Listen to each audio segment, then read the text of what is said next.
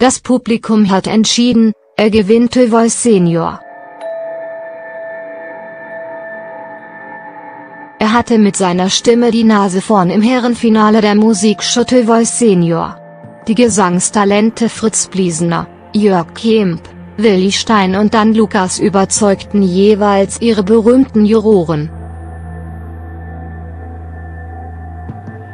Frauen hatten in der ersten Staffel des Oldie-Formats leider keine Chance.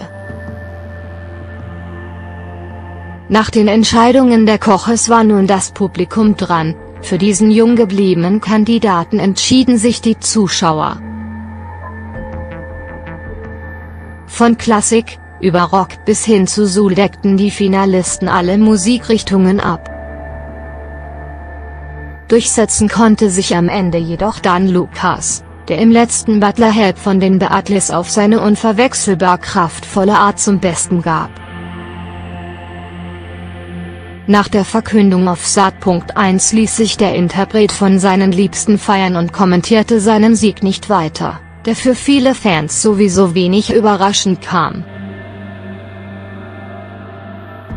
Die Promiflas-Leser waren nämlich ebenfalls von Anfang an überzeugt, Dante Mann hatte beinahe keine Konkurrenz.